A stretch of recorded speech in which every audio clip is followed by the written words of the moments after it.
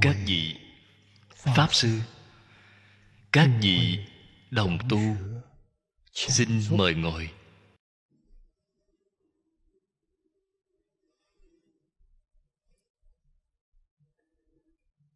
Mời mọi người cùng tôi quy y tam bảo.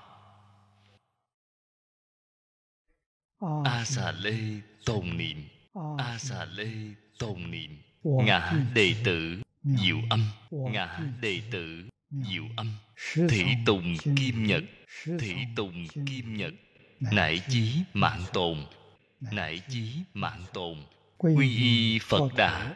Quy y phật đà. Lượng túc trung tôn. Lượng túc trung tôn. Quy y đạt ma. Quy y đạt ma. Ly dục trung tôn.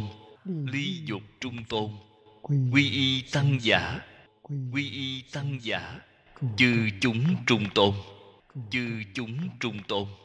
A xà lê tồn niệm, a xà lê tồn niệm. Ngã đệ tử diệu âm, ngã đệ tử diệu âm. Thị tùng kim nhật thị tùng kim nhật. Nại chí mạng tồn nại chí mạng tồn. Quy y phật đà, quy y phật đà lượng túc trung tôn. Lượng túc trung tôn. Quy y đạt ma. Quy y đạt ma. Ly dục trung tôn. Ly dục trung tôn. Quy y tăng giả. Quy y tăng giả. Chư chúng trung tôn. Chư chúng trung tôn. A xà lê tồn niệm. A xà lê tồn niệm. Ngã đệ tử. Diệu âm. Ngã đệ tử diệu âm. Thị tùng kim nhật. Thị tùng kim nhật. Nại chí mạng tồn. Nại chí mạng tồn. Quy y phật đà. Quy y phật đà. Lượng túc trung tôn. Lượng túc trung tôn. Quy y đạt ma. Quy y đạt ma. Ly dục trung tôn. Ly dục trung tôn. Quy y tăng giả. Quy y tăng giả chư chúng trung tôn. Chư chúng trung tôn. Ngày nay càng ngày càng ít người hiểu được đạo lý này. Người xuất gia cũng chẳng nói, hiện nay những pháp sư giảng kinh có ai giảng giới luật đâu. Nếu giảng giới luật thì người ta sẽ mắng bạn. Ông giảng giới luật, mở kinh ra thì mỗi ngày đều mắng chửi chúng tôi. Còn ai chịu nghe lời chửi mắng chứ? Nếu bạn giảng giới luật thì một thính chúng cũng không có. Nhưng đó là lời chân thật. Thế nên chúng sanh cõi diêm phù đề, địa tạng bồ tát nói, khởi tâm động niệm không gì là chẳng phải tội. Lời này là thật, chẳng quá đáng tí nào. Niệm niệm đều đang tạo nghiệp. Niệm phật giảng sanh, đâu dễ như vậy.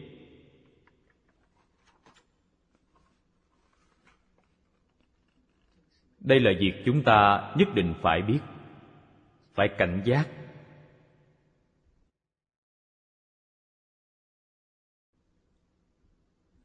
Phải biết sự nghiêm trọng của quả báo. Nếu bạn chẳng phải là người chân chánh tu đạo, mười phương cúng dường là cúng dường người tu đạo.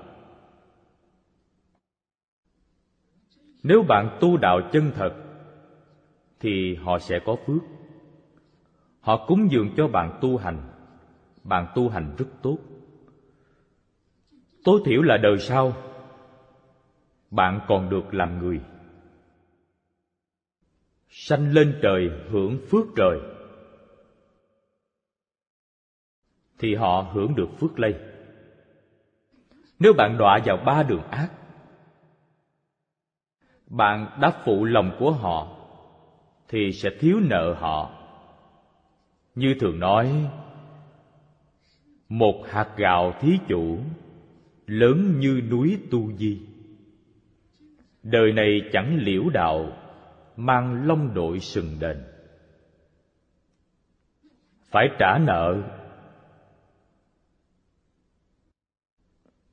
Nếu trong đời này bạn tu hành chân thật, giảng sanh cực lạc thế giới làm phật, thì phước của họ còn lớn hơn nữa phước điền này họ đã thực sự trồng được đúng chỗ.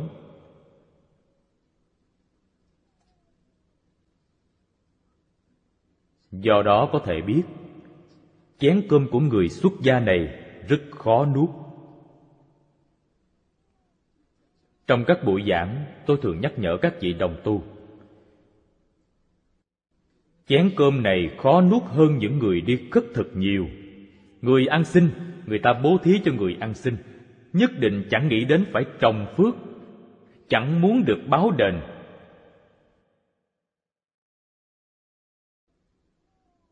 Cho nên chén cơm của người ăn xin dễ nuốt hơn nhiều. Người xuất gia tiếp nhận bố thí cúng dường khó nuốt lắm. Đời này chẳng liễu đạo thì phải mang long đội sừng mà đền trả.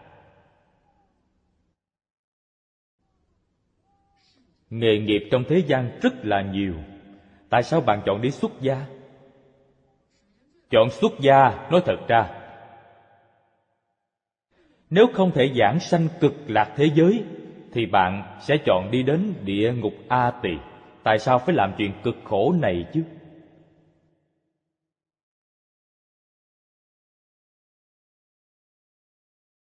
Chúng ta phải cảnh giác cao độ đây chẳng phải chuyện giỡn chơi, nghiêm túc phi thường.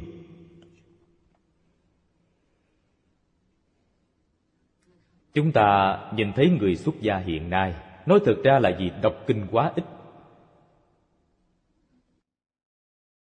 Chẳng có mấy người hiểu được đạo lý này, hiểu chân tướng sự thật này.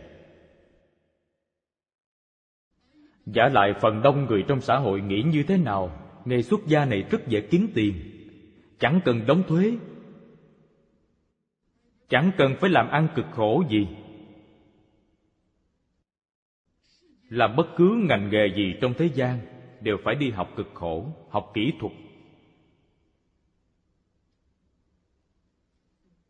Người xuất gia nếu cần học kinh sám phật tự, tối đa ba tháng là rất rành rồi, thì có thể bắt đầu kiếm tiền.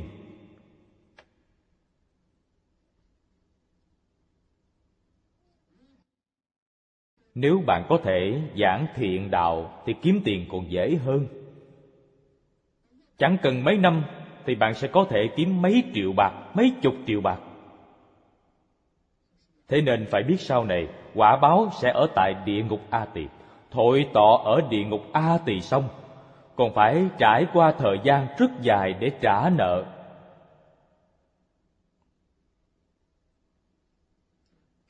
Tuyệt đối không thể nói thiếu nợ chẳng cần trả, không có đạo lý này. Nhân quả thông ba đời, chúng ta phải biết. Cách làm này là phá dụng thường trụ. Khi cuốn bạch y bạch y là tín đồ tại gia, bạn lừa gạt họ, phản nghịch giáo giới của đức phật. Chủng chủng tạo ác tạo ác, nghĩa là tham sân si mạng. Tạo tác vô lượng vô biên tội nghiệp. Ngày nay, càng ngày càng ít người hiểu được đạo lý này. Người xuất gia cũng chẳng nói, hiện nay những pháp sư giảng kinh có ai giảng giới luật đâu. Nếu giảng giới luật thì người ta sẽ mắng bạn. Ông giảng giới luật mở kinh ra thì mỗi ngày đều mắng chửi chúng tôi. Còn ai chịu nghe lời chửi mắng chứ? Nếu bạn giảng giới luật thì một thính chúng cũng không có. Nhưng đó là lời chân thật. Thế nên chúng sanh cõi diêm phù đề, địa tạng bồ tát nói, khởi tâm động niệm không gì là chẳng phải tội. Lời này là thật, chẳng quá đáng tí nào. Niệm niệm đều đang tạo nghiệp niệm phật giảng sanh, đâu dễ như vậy?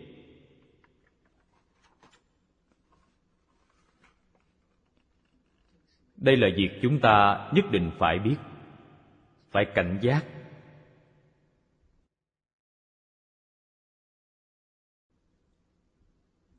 Phải biết sự nghiêm trọng của quả báo. Sa môn là người tu hành. Chẳng phải chỉ tăng ni. Tăng ni càng thù thắng hơn sa môn. Cư sĩ tại gia cũng có thể xưng là sa môn.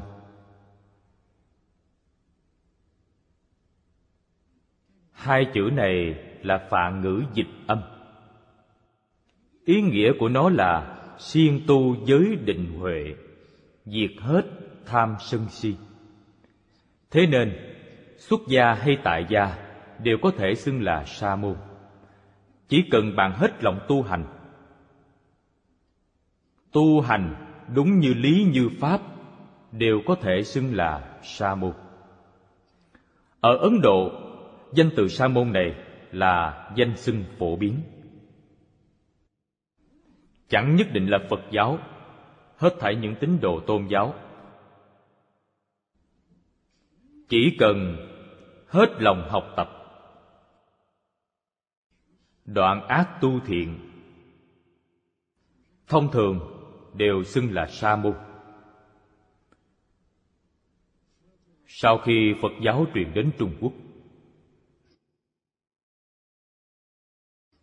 sa môn biến thành danh từ chung của những người xuất gia trong phật giáo. Nhưng chưa gì nên biết, nó cũng bao gồm người tại gia. Xưng sa môn là một cách xưng hô khiêm tốn. Nếu họ giả giờ như sa môn, nhưng chẳng tu hành chân chánh.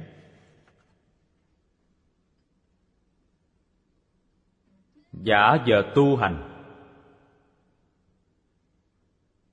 nhất định, nhằm mục đích lừa gạt chúng sanh. Đoạn kinh văn này, thanh liên pháp sư trong cuốn khoa pháp gộp vào phá giới gạt người. Cuốn là lừa gạt dối người.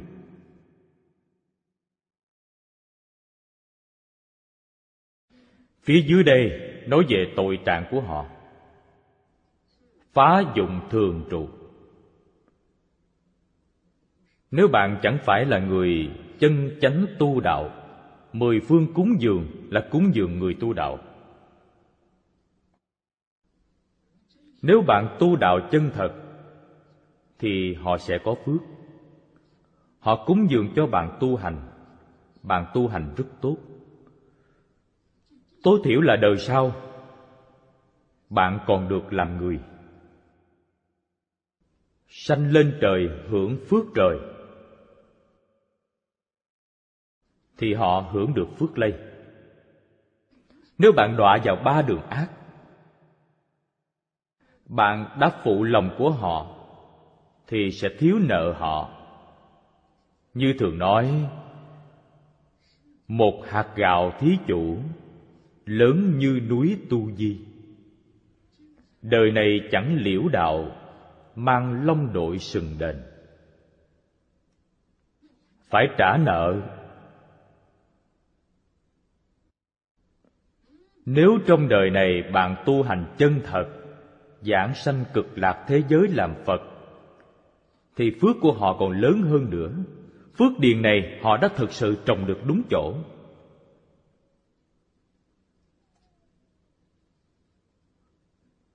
Do đó có thể biết, chén cơm của người xuất gia này rất khó nuốt.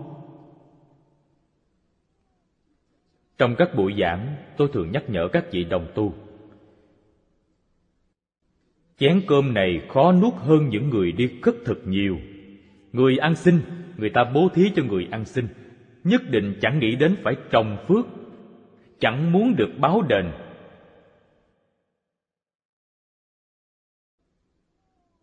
Cho nên chén cơm của người ăn xin dễ nuốt hơn nhiều. Người xuất gia tiếp nhận bố thí cúng dường khó nuốt lắm. Đời này chẳng liễu đạo thì phải mang long đội sừng mà đền trả. Nghề nghiệp trong thế gian rất là nhiều. Tại sao bạn chọn đi xuất gia? Chọn xuất gia, nói thật ra nếu không thể giảng sanh cực lạc thế giới, thì bạn sẽ chọn đi đến địa ngục a tỳ tại sao phải làm chuyện cực khổ này chứ?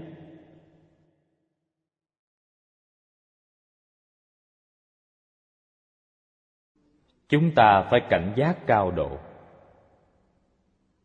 Đây chẳng phải chuyện giỡn chơi, nghiêm túc phi thường.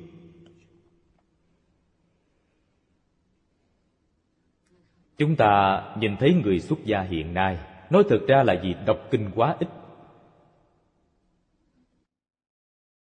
Chẳng có mấy người hiểu được đạo lý này, hiểu chân tướng sự thật này. Giả lại phần đông người trong xã hội nghĩ như thế nào, nghề xuất gia này rất dễ kiếm tiền. Chẳng cần đóng thuế. Chẳng cần phải làm ăn cực khổ gì. Làm bất cứ ngành nghề gì trong thế gian đều phải đi học cực khổ, học kỹ thuật. Người xuất gia nếu cần học kinh sám phật tự, tối đa ba tháng là rất rành rồi, thì có thể bắt đầu kiếm tiền.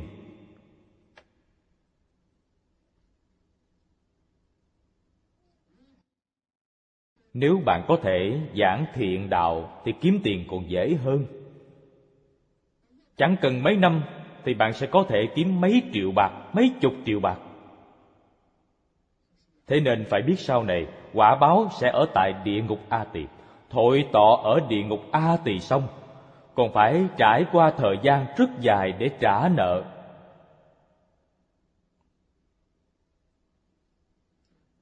Tuyệt đối không thể nói thiếu nợ chẳng cần trả, không có đạo lý này. Nhân quả thông ba đời chúng ta phải biết. Cách làm này là phá dụng thường trụ. Khi cuốn bạch y bạch y là tín đồ tại gia, bạn lừa gạt họ, phản nghịch giáo giới của đức phật. Chủng chủng tạo ác. Tạo ác nghĩa là tham sân si mạng tạo tác vô lượng vô biên tội nghiệp. Đây là loại thứ tư đọa địa ngục a tỳ a tỳ nghĩa là vô gián, là hạng người thứ tư. Loại cuối cùng là trộm cắp vật của thường trụ. Đây là dùng tâm trộm cắp để trộm cắp. So với xâm tổn, nói ở phía trước, thì nó còn nặng hơn. Nhược hữu chúng sanh thô khiết thường trụ, tài vật cốc mễ, ẩm thực y phục đại chí nhất vật bất giữ thủ giả. Đương đọa vô gián địa ngục, thiên dạng ức kiếp cầu xuất vô kỳ. Hai câu sau là quả báo phải có của họ. Thường trụ phía trước đã nói rồi, bốn thứ thường trụ. Nếu bạn dùng tâm trộm cắp, tâm thu đạo để đi trộm cắp, hoặc để tự mình dùng trộm về để tự mình hưởng thọ, hoặc cho người thân quyến thuộc dùng. Đều phạm tội này. Tội này rất là nặng.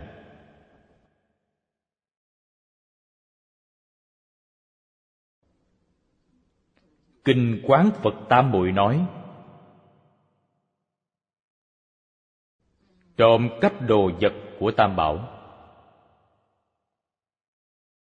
Tội ấy lớn hơn tội, giết tám vạn bốn ngàn cha mẹ. Sát hại cha mẹ, phía trước có nói là, tội nghiệp đọa địa ngục a tỳ trộm cắp đồ vật của tam bảo. Còn nặng hơn tội giết cha mẹ. Nặng hơn bao nhiêu, chúng ta không cách gì tưởng tượng được nổi. Trong kinh phật thí dụ còn nặng hơn tội giết hại tám dạng bốn ngàn cha mẹ. Qua tụ Bồ Tát trong kinh nói, Ngũ nghịch bốt trọng tội. Tôi còn có thể cứu. Trộm tăng vật thì tôi không thể cứu. Qua tự Bồ Tát là đẳng giác Bồ Tát. Ngang hàng với quán âm Thế chí Địa Tạng Bồ Tát.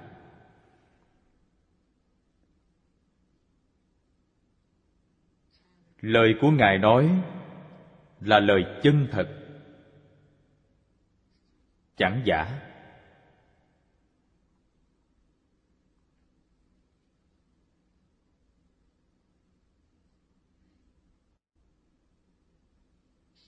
Hiện nay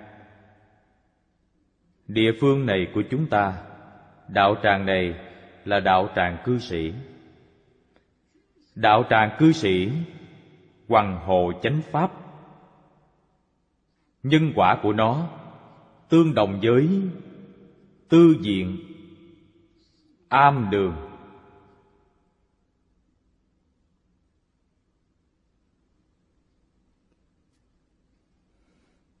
Những việc này chúng ta phải nhận thức rõ ràng.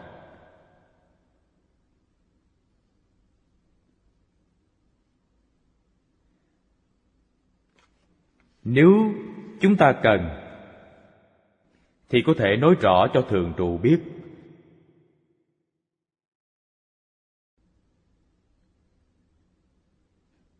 Thường trụ cúng dường. Vậy là chính xác.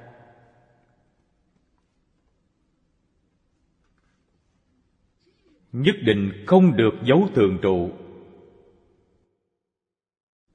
Mà tự mình trộm lấy. Vậy là sai lầm. Ngày nay chúng ta dùng điện thoại gọi đến nước khác.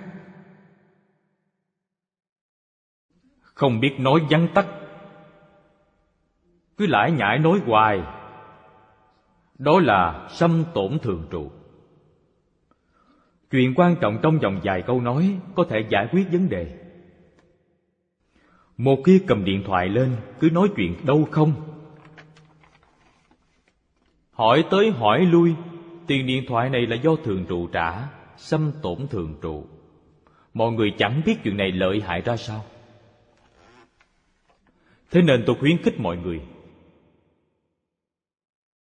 Hiện nay chúng ta có một số chuyện cần phải biết. Cách truyền đạt tin tức tốt nhất là dùng máy truyền chân, dùng phát có thể tiết kiệm thời gian.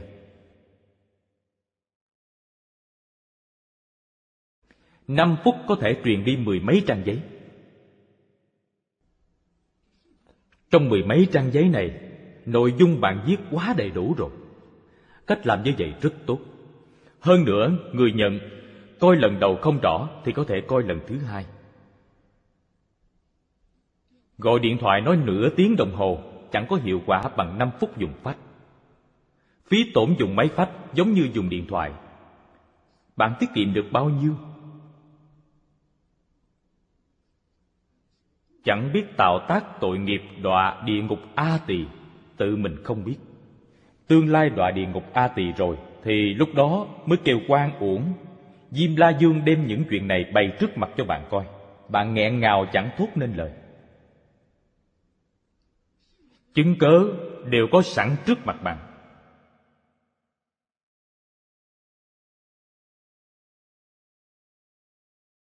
Trong giới kinh có nói rõ, ở đây chỉ nêu lên những điểm chính và nói sơ lược mà thôi.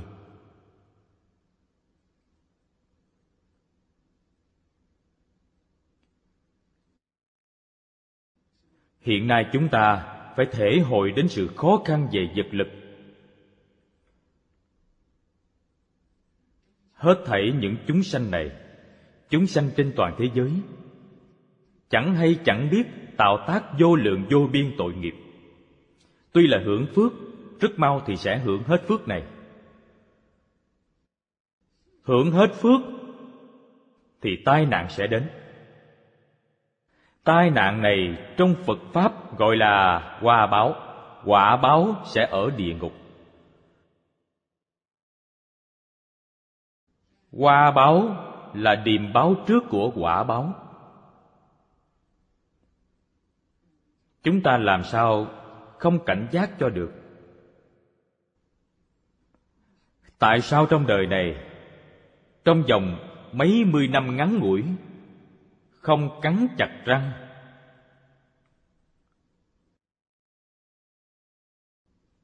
Học theo đức phật thích ca mâu ni.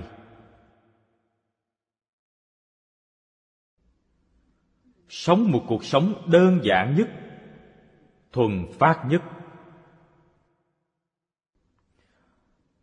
Ngoài việc hoằng pháp lợi sanh ra, làm lợi ích cho đại chúng chúng ta phải nên làm. Những nhu cầu cá nhân trong đời sống nhất định phải tiết kiệm đến mức thấp nhất.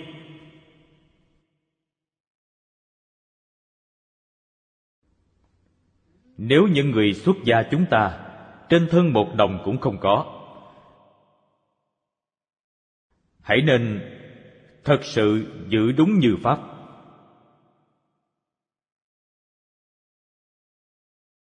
Khi ra ngoài cần dùng tiền thì thường trụ cung ứng.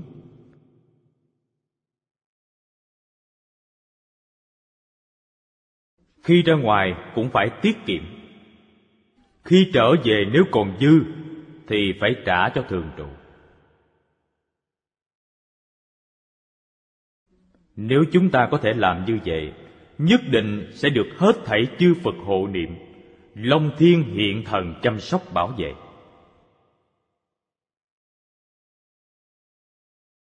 Ngày nay, chúng ta khởi tâm động niệm.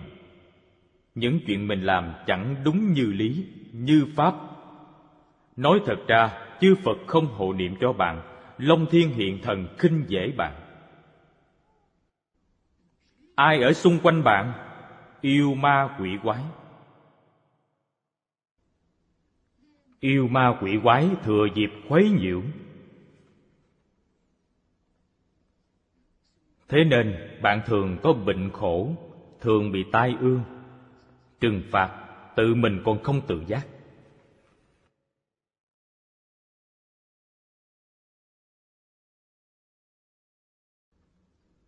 Người không học phật thì thực sự chẳng biết. Người học phật hiểu rồi. Đời này chúng ta đến thế gian này để làm gì?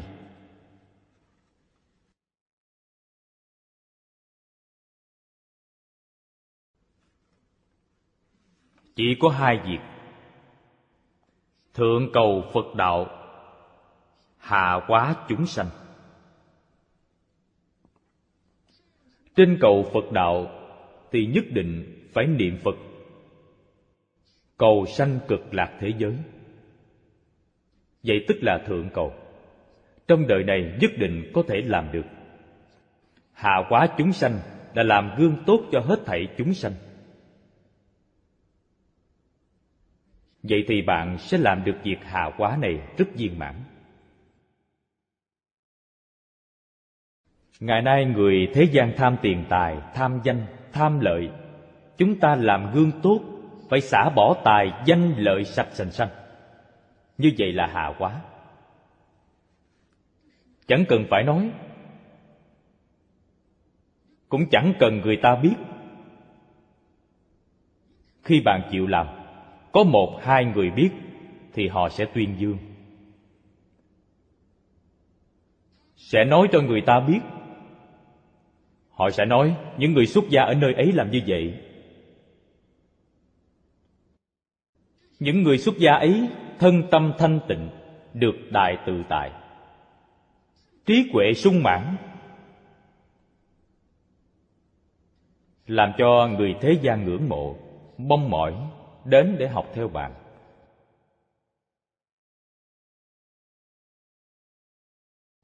Vậy thì mới đạt đến hiệu quả thực sự làm lợi ích cho chúng sanh. Mỗi hình phạt đều tiêu biểu cho vô lượng sự thọ khổ. Mỗi thứ đều có nghiệp nhân.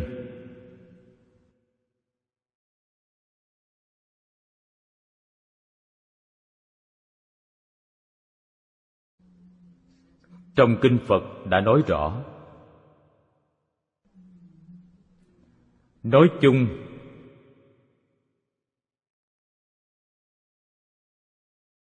đều chẳng lìa tham sân si. Ba tứ phiền não căn bản này, người ta trong một đời nói thật ra, chịu hại bởi ngu si nặng nhất. Ngu si là chẳng hiểu rõ sự lý.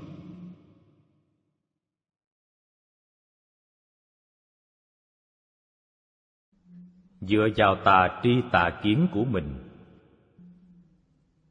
mà quỷ bán đạo đức. Tự mình tâm hạnh bất chánh, dẫn đến dắt người khác tà tri tà kiến. Cùng tạo ác nghiệp.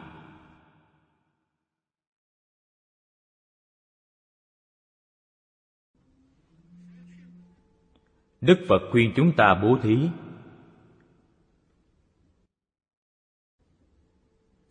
Trong thời mạt pháp, ấn tượng phụ sinh ra từ sự bố thí. Không thể nói là không có. Phía trước có nói, giả làm sa môn, tâm chẳng phải sa môn. Người lường gạt chúng sanh thật có. Chẳng phải không có đâu. Đặc biệt là thời kỳ mạt pháp, phật nói, tà sư thuyết pháp như các sông hành những tà sư này từ đâu tới? Là con cháu của ma dương. Năm xưa lúc đức thế tôn còn tại thế, ma dương ba tuần muốn phá hoại phật pháp. Trí huệ, đạo đức, oai thần của phật quá lớn. Ma Dương không có cách chi. Tạm thời chẳng thể phá hoại, cũng học theo phật, cũng đến nghe kinh nghe pháp. Nhưng ý niệm phá hoại phật pháp chẳng tiêu mất. Mà dường nói với phật, có một ngày tôi sẽ phá hoại Phật Pháp. Phật nói, Pháp của ta là chánh Pháp, Chẳng thể phá hoại. Mà Dương đáp Đợi đến khi Pháp giận của ông suy thoái.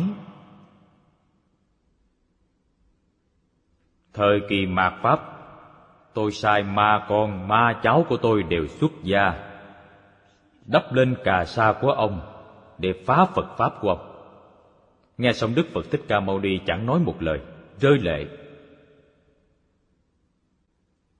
Ấy là Dí như trùng trên thân sư tử Rỉa thịt sư tử.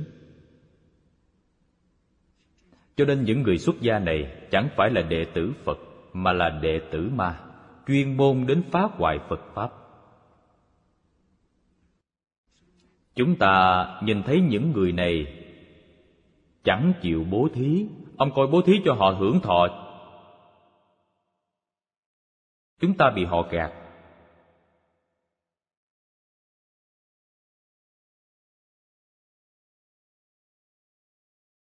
Quỷ bán bố thí. Nói bố thí chẳng có quả báo. Nói người ta bố thí gặt được ác báo. Khuyên người ta tích lũy tiền tài, tự mình hưởng thọ. Trái ngược lời dạy của phật. Nói tu thiện không được hiệu quả, tạo ác cũng chẳng bị ác báo.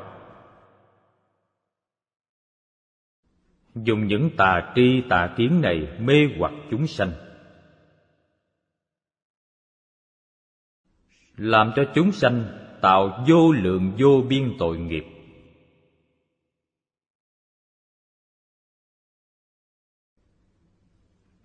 Phía sau những người này có ma dương gia trì, có yêu ma quỷ quái ở kế bên giúp đỡ chúng ta nhìn thấy trong thời đại hiện nay, có những tà sư thế lực rất là lớn, đồ chúng rất đông. Dưới tay họ có nhân tài, có tiền bạc. Người tu hành chánh pháp rất đáng thương.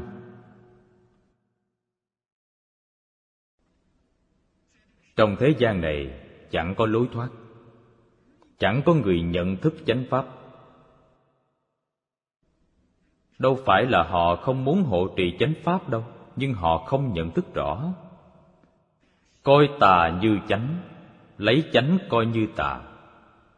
Thế nên, chẳng có người quan tâm hoàng dương chánh pháp.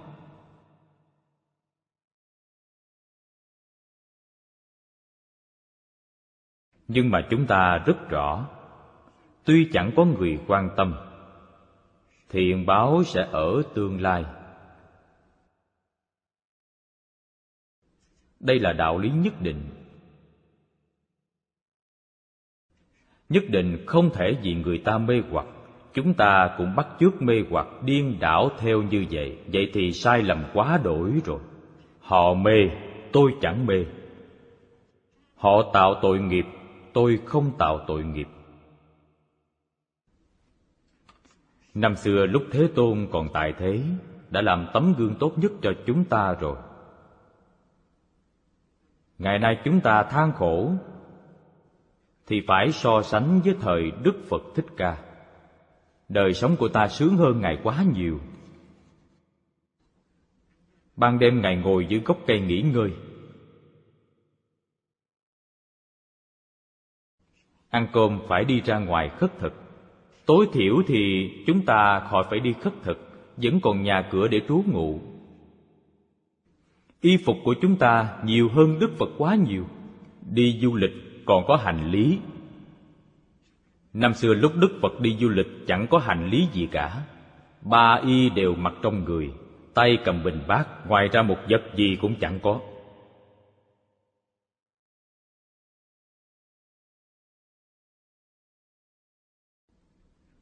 Nếu chúng ta không hết lòng hoàng đạo, thì làm sao chẳng có lỗi với đức phật?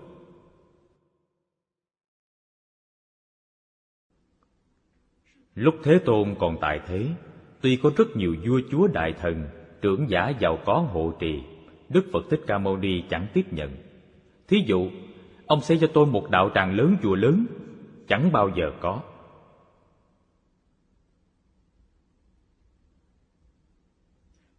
Hết thảy những đạo tràng này đều là mượn dùng. Quyền sở hữu của kỳ thọ cấp của độc viên là của thái tử kỳ đà và trưởng giả cấp cô độc. Chỉ là tiếp nhận sự cúng dường của họ. Chúng ta thường nói, phật chỉ có quyền sử dụng, chẳng có quyền sở hữu. Quyền sở hữu vẫn là của họ. Chỉ mượn dùng tạm thời.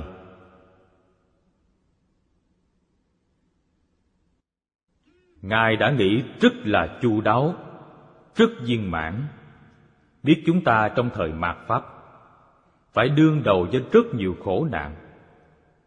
Nghĩ đến tăng đoàn của đức phật năm xưa, thì tâm chúng ta sẽ lắng xuống.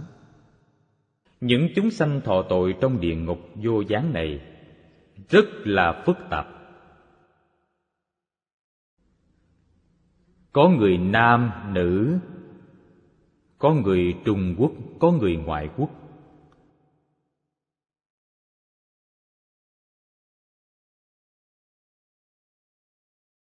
Khương hồ di địch. Ngày nay chúng ta gọi là những người khác chủng tộc. Già trẻ sang hèn.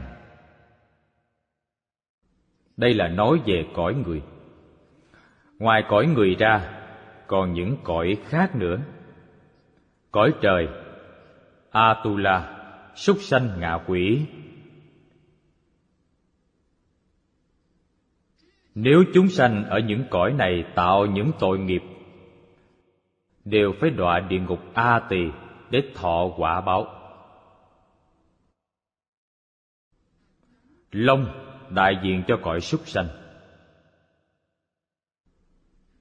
Thần, trong kinh lăng nghiêm có nói đến cõi tiên. Thiên bao gồm cõi trời dục giới, sắc giới, vô sắc giới. Quỷ là cõi ngạ quỷ. Nói cách khác, năm cõi, ngoài cõi địa ngục tạo tác tội nghiệp đều là tội hạnh nghiệp cảm, đều đồng chịu như nhau. Thế nên gọi là vô gián chúng sanh trong địa ngục vô gián vô cùng phức tạp. Trong kinh phật chúng ta thấy, thứ thiền thiên, tứ không thiên.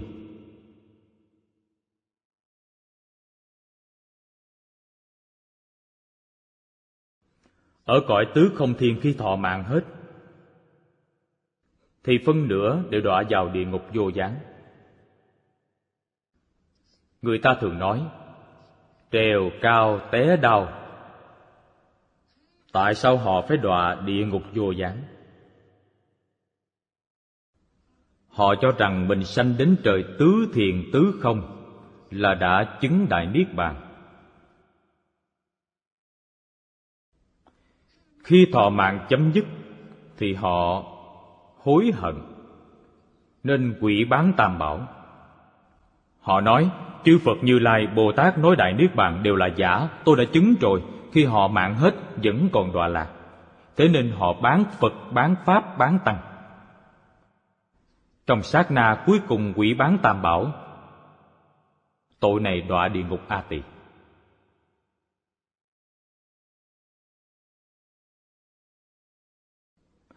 Họ chẳng biết cảnh giới này, đều là hư vọng. Ngộ nhận là cảnh giới niết bàn cho nên mới tạo tội nghiệp cực nặng như vậy.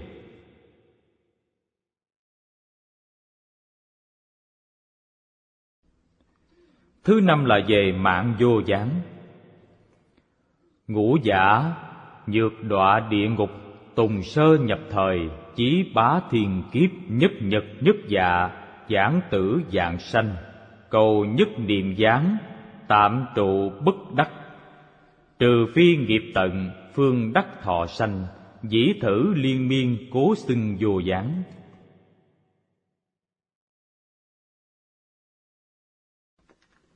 Nếu trong địa ngục chịu hình phạt xong rồi chết mất, vậy thì phải chúc mừng cho họ. Đó là chuyện vui rất lớn. Nếu trong địa ngục chết mất thì bất luận sanh đến cõi nào cũng là siêu sanh. Khổ nạn cũng đều giảm nhẹ là chuyện vui to lớn, nhưng chẳng chết được. Vừa chết đi rồi, bị gió thổi một cái liền sống lại. Tiếp tục thọ báo. Thế nên, một ngày một đêm, muôn lần chết đi, muôn lần sống lại, dạng là hình dung, chẳng phải là con số.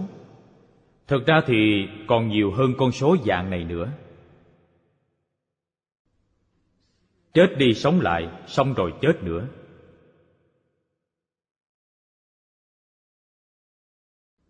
Cứ làm vậy hoài không gián đoạn. Tạm thời nghỉ mệt một lát cũng không được. Trừ phi nghiệp tiêu mất. Nghiệp bạn tạo thọ khổ báo trong địa ngục hết rồi. Thì mới chết đi, siêu sanh. Nếu tội nghiệp chưa hết. Thì chẳng có cách gì thoát ly.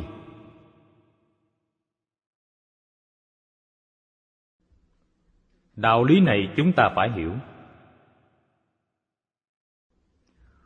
Quỷ bán tam bảo, chúng ta nêu thí dụ này để nói.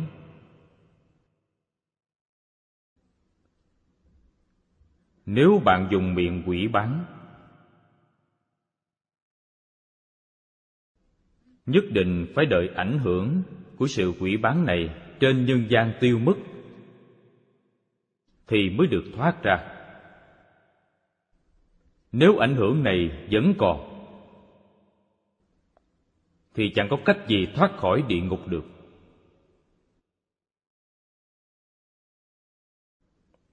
Thời gian của ảnh hưởng trên ngôn luận chẳng dài thí dụ quỷ bán tam bảo có người nghe bạn nói cũng quỷ bán theo nhưng sau khoảng chừng ba mươi năm, năm mươi năm, dần dần thì mọi người cũng quên mất.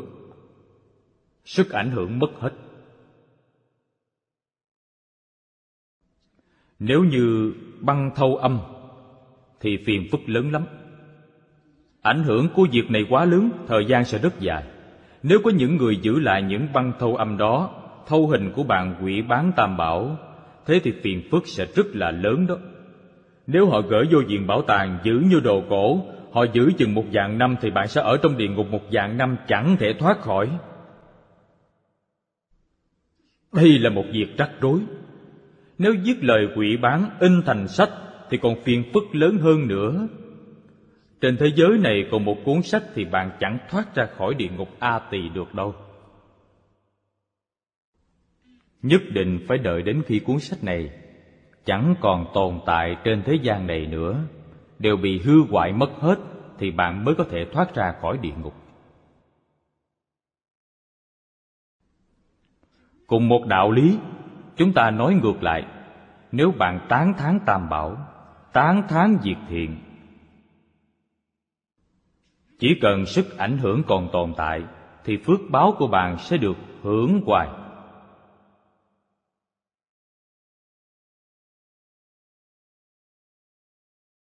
Một bên ngược, một bên thuận. Chúng ta phải tìm hiểu cặn kẽ rõ ràng, minh bạch mới được. Thế nên tại sao không giữ tâm tốt? Làm việc tốt, nói lời tốt, làm người tốt vậy? Phước báo vô biên. Ngược lại, nếu tạo tội nghiệp khổ báo cũng vô biên chỉ ở trên một niệm mà thôi. Chư phật bồ tát khuyên dạy chúng ta giữ tâm tốt, làm việc tốt, nói lời tốt, làm người tốt. Tiêu chuẩn của tốt này ở đâu? Địa tạng bồ tát bổ nguyện kinh chính là tiêu chuẩn tốt nhất.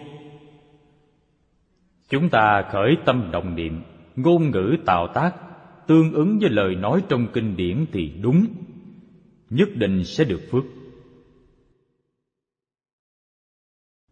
Phước báo này sẽ kéo dài nhiều đời nhiều kiếp, vĩnh viễn hưởng không hết. Muôn vàng chẳng thể làm trái ngược kinh giáo, tạo những việc ác. Chỉ nhằm một chút lợi ích nhỏ nhoi trước mắt sau này phải chịu khổ báo vô cùng lớn. Vậy thì cái được chẳng bù nổi cái mất. Xem tiếp kinh văn. Địa tạng bồ tát, bạch thánh mẫu ngôn, vô gián địa ngục thô thuyết như thị nhược quản thuyết địa ngục tội khí đẳng danh, cập chư khổ sự, nhất kiếp chi trung cầu thuyết bất tận trong kinh này, chỉ báo cáo sơ lược đơn giản mà thôi. Nếu nói tường tận, đây là lời chân thật. Nói một kiếp cũng chẳng hết. Một kiếp nói về cái gì? Nói về danh xưng của địa ngục. Những hình phạt trong địa ngục, tên của dụng cụ hành hình, và những sự khổ của nó nói một kiếp cũng chẳng hết chẳng nói đến địa ngục khác chỉ nói về địa ngục vô gián nói một kiếp cũng chẳng hết Nếu nói hết về 18 địa ngục thì hai kiếp, ba kiếp, bốn kiếp cũng sợ là chẳng nói hết. Chúng ta nhất định phải hiểu sự thật này. Hiện nay nếu trong địa ngục, nhất định sẽ có các thứ như hơi độc, ga, súng đại liên, có đạn của súng đại bác, thậm chí là bom nguyên tử bùng nổ, hết thảy đều có. Lúc trước trong tâm người ta chẳng có những hiện tượng này, chẳng biến ra những thứ này. Chỉ biến ra những dụng cụ hành hình tra khảo mà họ biết mà thôi. Người hiện đại rất là dễ sợ, rất đáng thương. Tại sao vậy? Coi phim ảnh, coi truyền hình, coi những chuyện khủng khiếp này. Hết thảy đều chất chứa trong A lại gia thức. Khi đến địa ngục A tỳ thì hiện ra toàn bộ. Tất cả đều phải thọ chịu. Thế nên ít coi những phim ảnh khủng bố. Khoa học giả tưởng này là tốt hơn. Tuy có đọa địa ngục, bớt đi không ít hình phạt. Lời tôi nói là thật đó. Nếu quý vị thích coi những phim ảnh này, trong A lại gia thức chất chứa những hạt giống này, tương lai đọa địa ngục sẽ tăng thêm nhiều hình phạt hơn những người thường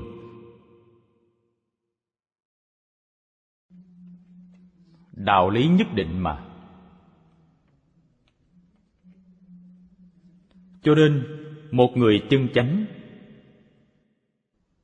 biết cách tu học thì mắt không xem cảnh ác, tai không nghe âm thanh ác. Hết thảy những cảnh giới ác liệt này, chúng ta đừng tiếp xúc, đừng tiêm nhiễm là tốt nhất. Nhất định sẽ có lợi ích to lớn cho chính mình. Tốt rồi, hôm nay thời gian đã hết, chúng ta chỉ giảng đến đây thôi. A di đà phật.